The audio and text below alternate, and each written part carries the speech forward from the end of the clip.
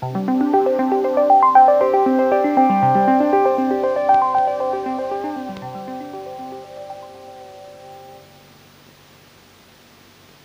zusammen und herzlich willkommen zu einem neuen Video. Ich hoffe, es geht euch allen gut. Jetzt ist der Schnee geschmolzen, dafür sind die Stürme da. Dann kommt dazu, dass in Köln eine Brücke gesperrt wurde, die Bahn streiken. Also man verbringt gerade wieder sehr, sehr viel Zeit im Auto. Ist ja zwangsläufig auch nicht so schlecht. Man hat mal wieder Zeit, sich ein paar Podcasts anzuhören. Aber darum geht es heute gar nicht. Wir reden heute über Dynaflex.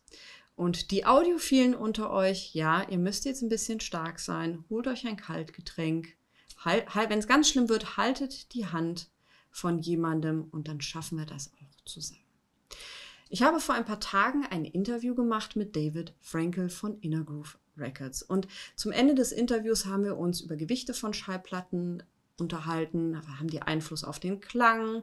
Und da ist auch das Thema Dynaflex aufgetaucht. Und einige von euch haben mich angeschrieben, gefragt, Dynaflex, was ist denn das? Was macht das mit mir und meiner Schallplatte? Wo kann ich es gegebenenfalls kaufen. Deswegen reden wir heute ein bisschen über Dynaflex. Dynaflex ist ein Produkt, was im Jahr 1969 von RCA eingeführt wurde, also eher zum Ende des Jahres 1969 mit viel Tamtam. -Tam. Ich zeige euch jetzt hier auch mal so ein bisschen den ja, das gab es in den Innenhüllen von den Platten, so ein bisschen die, die Werbung von Dynaflex und die besagte halt, es ist einfach die Schallplatte von morgen, die du heute schon in den Händen halten kannst. Du hast weniger Probleme mit den Schallplatten, weniger Ticks, weniger Pops, sie wälzt sich nicht so schnell. Also alles in allem ist das eigentlich die bessere Schallplatte. Tja, das ist ja mit der Werbung so immer so ein Ding. Ja, ich mache das immer gerne an der Müsli-Packung fest. Ihr kauft euch eine Müsli-Packung, geht nach Hause, macht die auf und sagen wir mal mittlerweile 60 bis 70 Prozent der Packung ist Luft. Was sagt das Marketing euch? Naja, es ist eine neue Rezeptur mit viel besseren Inhaltsstoffen. Und äh, wir brauchen den Sauerstoff in diesen Verpackungen, deswegen sehen die auch von außen so groß aus, damit sich die Aromen wesentlich besser entfalten können. Na klar, also ich bezahle das gleiche, habe weniger, aber dafür habe ich ja eine viel bessere Rezeptur mit viel besseren Inhaltsstoffen. It is a dream. Und bei Dynaflex ist das meiner Meinung nach das gleiche. Damals hatte die Schallplattenindustrie ein Problem. Die Nachfrage an Schallplatten ist jedes Jahr exponentiell gestiegen. Und naja, du willst ja auch irgendwie als Unternehmen so ein bisschen Kosten sparen. Also was hat man seinerzeit schon gemacht? Man hat Rückläufer bekommen aus verschiedensten Gründen. Man hatte ja auch mal Pressungen, die im Presswerk dann lagen und nichts waren. Und was hat man gemacht? Man hat die gesammelt, wurden in eine Tonne geschmissen und dann hat sich einer vor eine Maschine gesetzt und diesen Teil, wo das Label drauf ist, rausgestanzt und der Rest wurde dann wieder eingeschmolzen. Jetzt werden einige von euch sagen, naja, was ist, wenn der das Label nicht richtig getroffen hat? In so einem Werk gibt es viel Staub. Richtig, der wurde mit eingeschmolzen. Das heißt, es gab durchaus Leute, die sind in den Plattenladen gegangen, haben sich eine Platte gekauft, legen sie zu Hause auf und sehen, hier habe ich aber so einen kleinen, ach, das ist ein Papierfetzen, der ist damit reingepresst. Hm? Das sind dann teilweise so, diese hartnäckigen kleinen weißen Knubbel, die ihr auch mit dem größten Kercher-Reiniger nicht weggeblasen bekommt. Macht das bitte nicht. Die, die bekommt ihr nicht weggeblasen. Das ist eingepresstes Papier. Mhm großartig. So, und da hat man sich gedacht, naja gut, man muss den Leuten ja so ein bisschen auch sagen, das ist besser, weil, für die, die ein bisschen mehr nachfragen und sagt, naja gut, wir machen dann Virgin-Beine. Das heißt, wir nehmen frisches Vinyl und dadurch habt ihr eine bessere Klangqualität. Das, was da vorher war mit dem Papier und dem Gedöns, habt ihr ja dann alles nicht. Und es ist einfach super. 1971 hat man dann das äh, in Betrieb genommen, das ganze Ding. Und naja, was soll ich euch sagen? Ich habe hier mal so eine Dynaflex.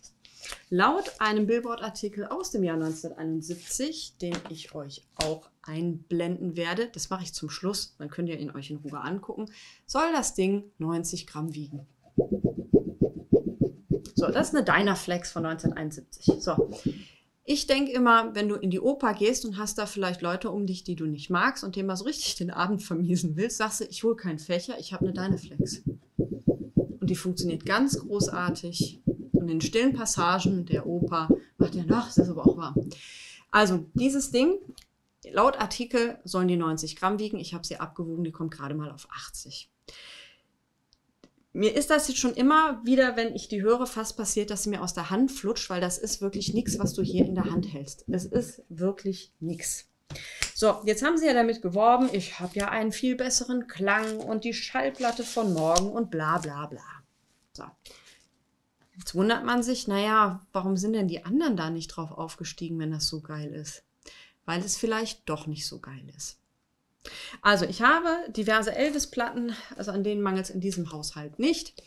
Ähm, die sind alle oder viele davon sind Dynaflex. Ich habe aber auch dann die deutsche Pressung als in Anführungszeichen richtige. Und ich habe mir dann zur Vorbereitung auf dieses Video mir die Dynaflex mal vorgeholt und habe die aufgelegt. Die beiden.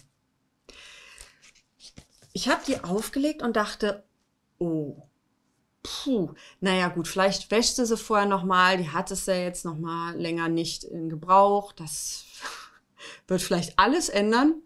Ich lege die auf und ich will nicht sagen, es war ein Sandsturm, mitnichten, aber du hattest unfassbar viele Störgeräusche, viel Hiss in, in diesen Sachen. Also das ist, wenn du das mal so nebenbei, nebenbei hörst, ist das kein Thema, aber wenn du dich wirklich da vor die Boxen setzt, ja, ich weiß, Audiophile mit Abstand natürlich, ich messe das vorher aus, wo ich mich hinsetze, klar, hörst die und denkst so, boah, nee.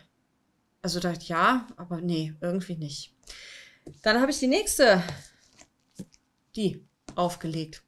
Hatte ich das gleiche Phänomen. Gerade in den ruhigeren Passagen war das nicht angenehm. Dann dachte ich mir, ja gut, ist nicht schlimm. Ich habe ja diese nochmal als Deutsche und habe die aufgelegt. Und ich hatte diese Hintergrundgeräusche nicht. Das ist eine ganz saubere Pressung.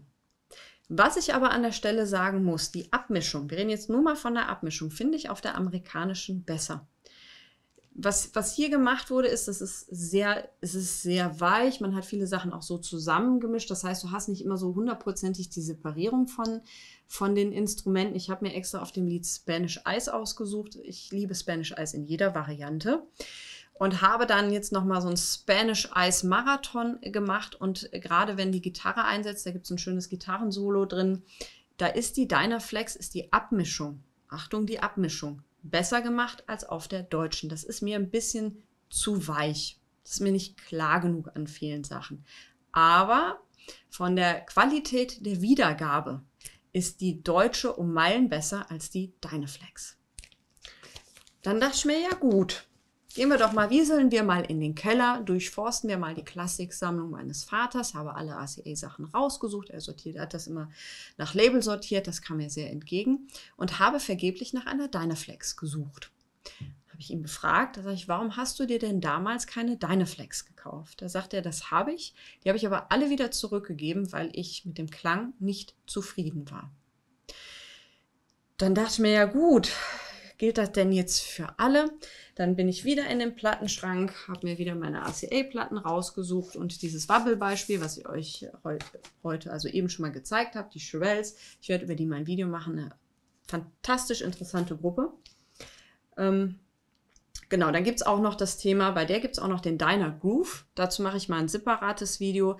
Das ist auch eine faszinierende Entwicklung von RCA äh, gewesen. Da haben sie noch den Schliff des Diamanten berücksichtigt, wie der, De also das Diner Groove, was RCA da gemacht hat, ist unfassbar faszinierend, aber das machen wir mal anders. Auf jeden Fall habe ich mir dann diese Dynaflex angehört und die klang super. Ich hatte keine Nebengeräusche, ich hatte keinen Hiss, ich hatte kein gar nichts.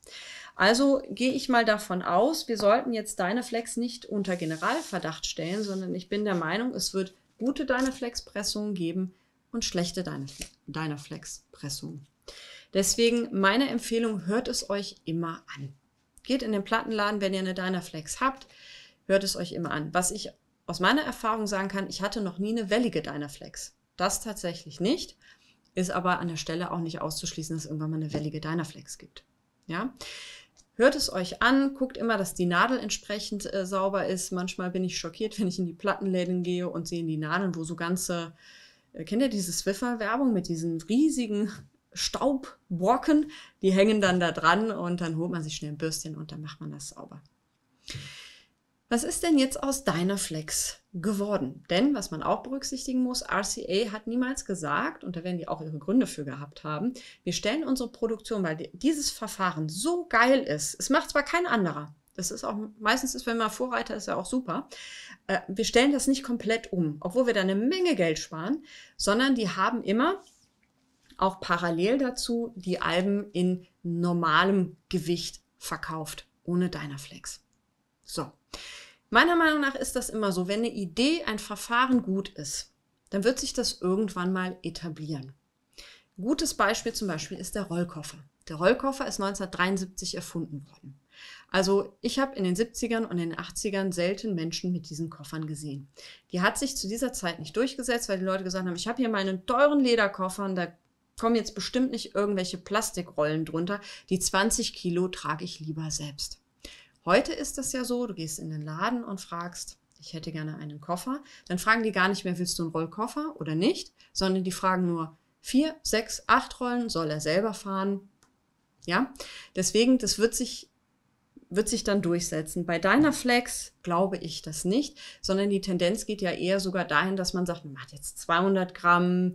Ja, also du hast ja teilweise richtige Trümmer in der Hand. Ja, die sind auch, und ich habe da auch mit einigen Leuten gesprochen, auch aus dem Presswerk, klanglich macht das jetzt nicht den Wahnsinnsunterschied, wenn überhaupt, ob du jetzt eine dickere oder eine dünnere Pressung, also zwischen 140 und 200 Gramm hast. Es ist aber an der Stelle so, diese Platten sind einfach robuster. Auch ein Argument von Dynaflex war halt, im Transport sind nicht so viele zerbrochen, weil die da einfach ein bisschen Spiel hatten an der Platte, ja.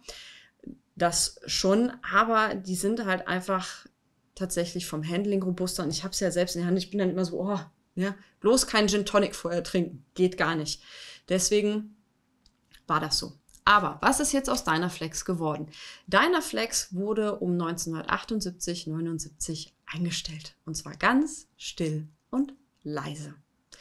Weil die Leute dann irgendwann gesagt haben, pass auf, ich habe das Gefühl, dass ihr mir quasi weniger Produkt fürs gleiche Geld verkauft, plus dass das jetzt auch soundtechnisch für mich jetzt auch nicht so großartig ist.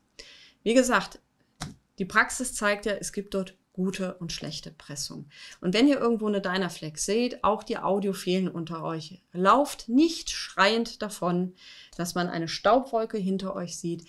Ich würde empfehlen, Plattenladen aufzulegen, zu testen. Weil, wie gesagt, nochmal, die Shirelles, die klingen einfach top. Das ist ein Hörgenuss von Anfang bis zum Ende, trotz dass es eine Dynaflex ist. Jetzt würden einige sagen, vielleicht weil es wegen einer Dynaflex so ist. Ich habe jetzt keine andere Version von der gefunden, also eine normale Pressung, aber ich bin mir sicher, die normale Pressung wird dann, wenn du dann Pech hast, hast du dann da eine, die irgendein Thema hat. Immer ausprobieren, testen und wenn das soundtechnisch für euch passt und auch äh, budgettechnisch die Dynaflex, also gerade diese Elvis Dynaflex, die 70er Jahre, die kriegst du für einen Fünfer äh, ist das gar kein, gar kein Weltuntergang. Aber ganz wichtig, meine Empfehlung, immer, immer, immer. Wenn ihr, wenn ich im Plattenladen bin und äh, ich finde dann so einen Stapel von äh, hoffentlich manchmal nur zehn, was ich immer mache, ist, ich gucke mir die an. Ich gucke mir die Vorderseite an, ich gucke mir die Rückseite an. Wenn das äh, schon völlig zerkratzt ist oder da ein tiefer Kratzer drin ist, du kannst den mit dem Finger äh, fühlen, dann bringe ich die wieder zurück. Ich höre sie mir gar nicht erst an. Wenn das aber soweit passt, ich gehe immer und höre mir immer eins, zwei Tracks dieser Platten an. Auf beiden Seiten gehe ich immer zu dem Schallplattenspieler, der im Laden ist. Jeder gute Schallplattenladen wird einen mit Sicherheit haben, ganz, ganz sicher. Guckt, dass die Nadel an der Stelle sauber ist, weil nicht, dass ihr das Ding hört und ihr habt da die Staubbrocken dran von Jahrzehnten an äh, Hör Hörproben, dass ihr denkt, boah, das ist ja jede Pressung scheiße, sondern dann einfach darauf achten, wie ist das und dann kann man sich die in Ruhe anhören. Also ich würde Dynaflex nicht verteufeln. Es gibt wie bei der normalen Pressung gute und schlechte. Das war das Wort zum Freitag, wenn ihr dieses Video seht. Ich hoffe, ihr habt ein schönes Wochenende. Genießt die Zeit mit euren Platten, mit eurer Familie, vielleicht jetzt nicht in der Reihenfolge. Und dann hören wir uns bestimmt sehr bald wieder. Ich danke euch sehr.